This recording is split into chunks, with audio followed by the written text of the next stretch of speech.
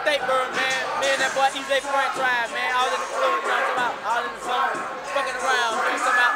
How the DJ in Statesboro, y'all folks in right here, man. They going digital.